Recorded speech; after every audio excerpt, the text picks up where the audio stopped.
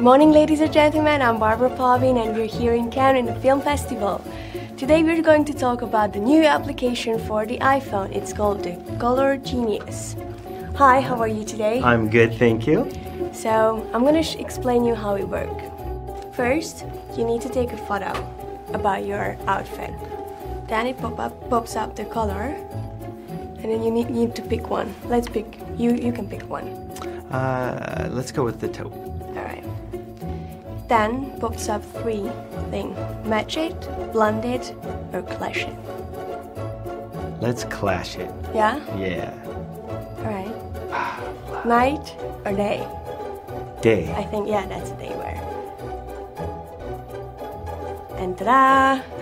Perfect. So if you don't know what to, what makeup and nail polish wear for your outfit, Yes. this can help you. It's genius. This is for the eyeshadow, the nail polish, and the rouge.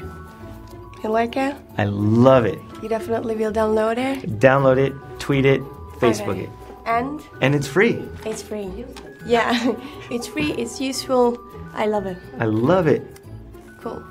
Thank you.